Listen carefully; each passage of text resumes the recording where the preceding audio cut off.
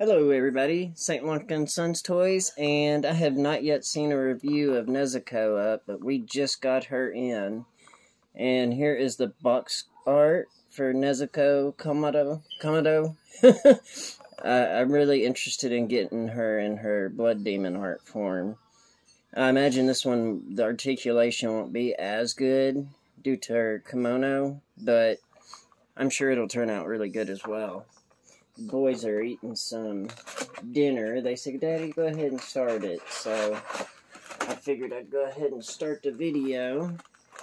And here is Nezuko in her package, and she has her main body with some relaxed hands. Then she has two, it looks like, those fist hands? Yeah, I think they are. Remember two of her, like, demon claw hands down there.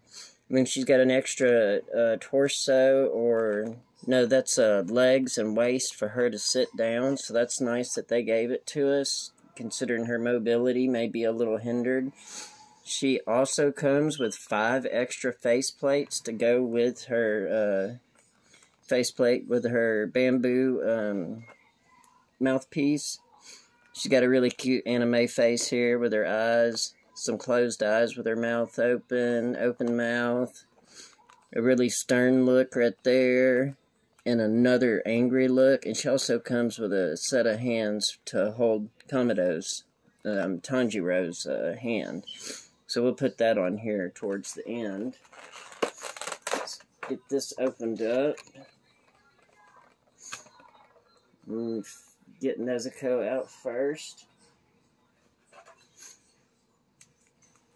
And she's wrapped up nicely with some protective film. And first looks at her. Really like the detail and the paint. I think it looks really good.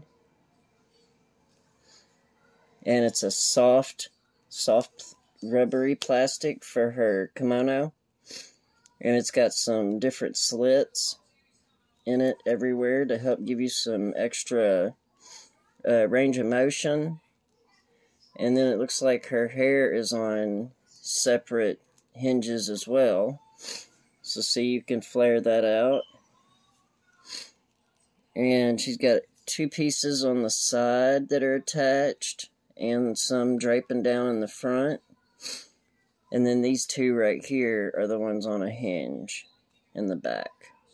So that gives you a little bit more range and mobility as far as like doing her head, looking down. She gets really good range for her hair. That looks good.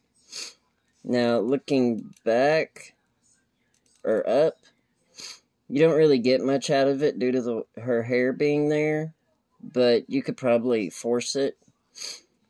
And then for side tilt, you do get some decent range, tilting her head to the side. Works really well. Now, as far as bending over, that's if you use the all the bends in the torso, you get about that much. Then bending back, she actually gets really decent range bending back. However, you get a ghastly gap there. So I would not suggest doing that unless uh, you're just trying to get in her into a dynamic pose. Then for her arms, she has really good articulation with the arms, much like her brother Tanjiro back here. He had really good articulation.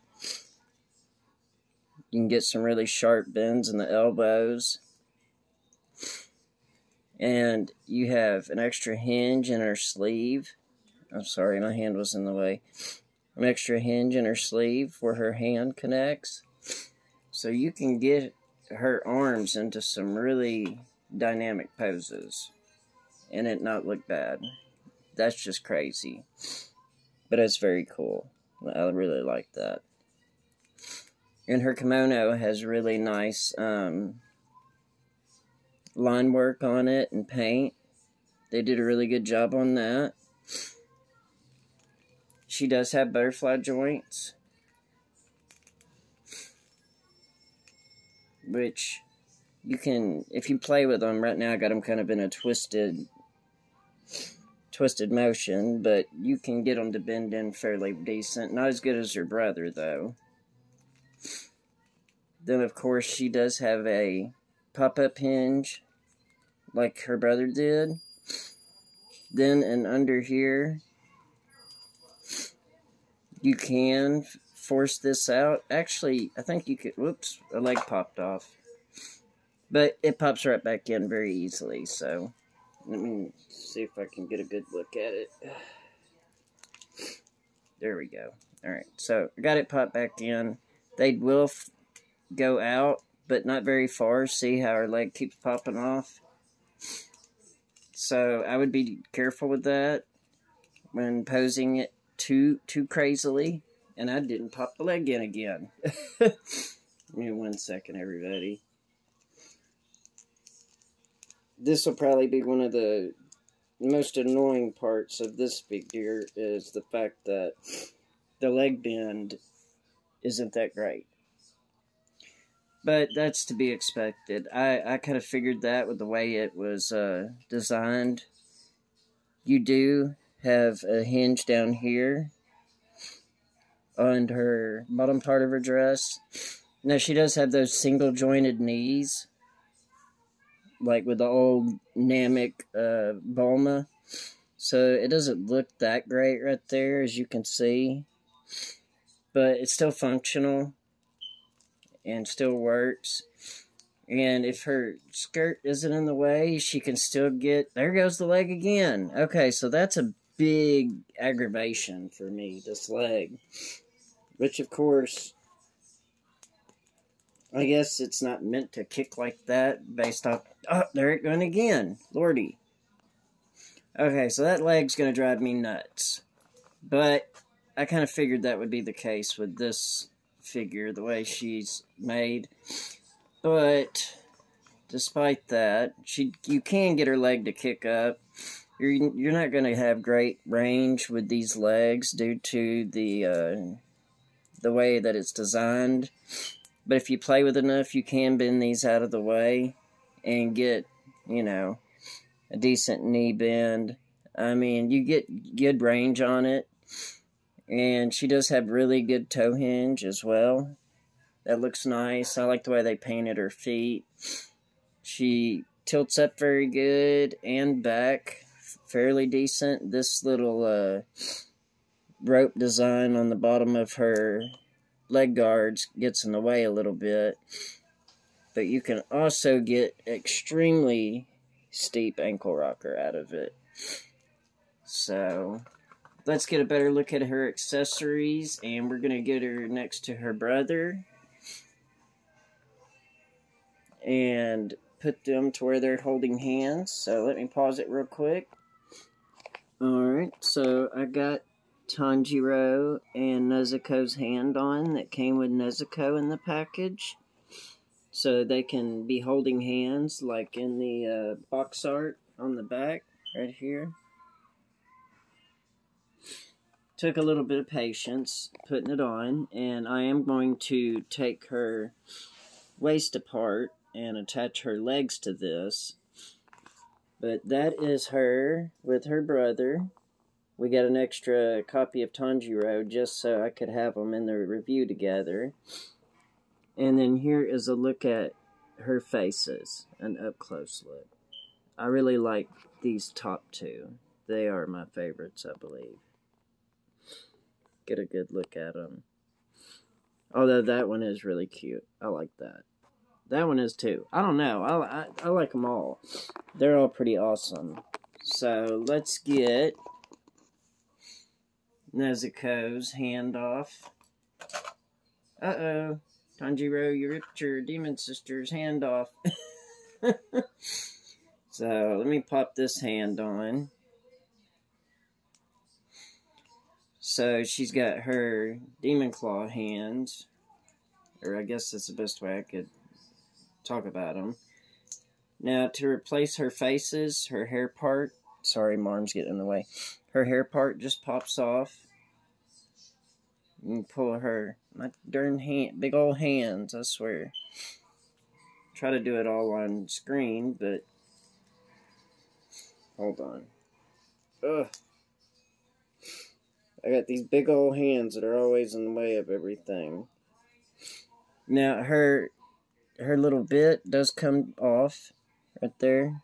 You kind of pull it down. And then that should allow you to pop the face off. It's just a little hard to get in there with my big old fingers. Alright. So there, got her face plate off.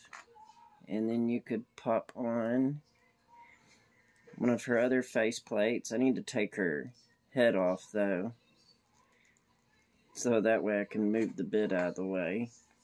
And then that'll just pop off right like this. I gotta get a little closer. So, just popped her head off, just like that. And this should just slide out. Yep. The little bit piece slides right out. I would take that on rather than um, trying to do it like I was just now.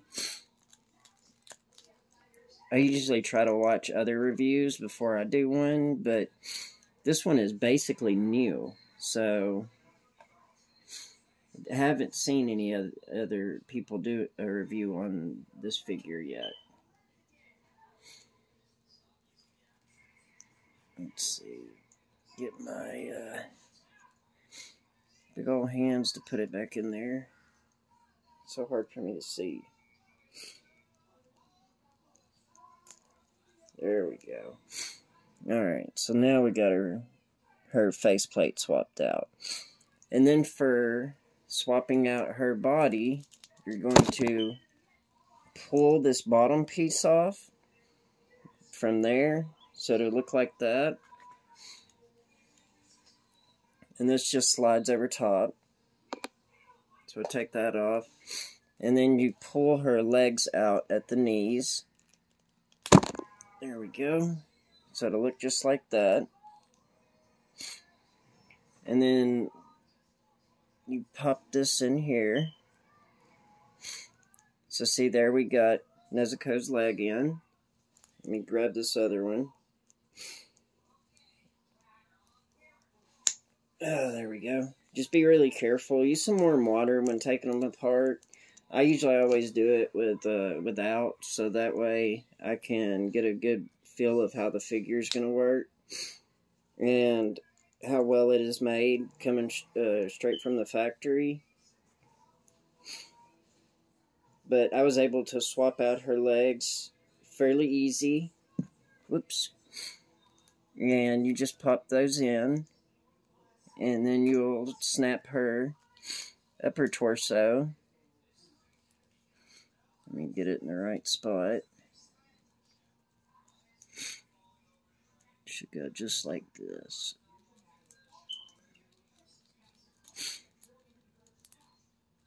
Hold on one second.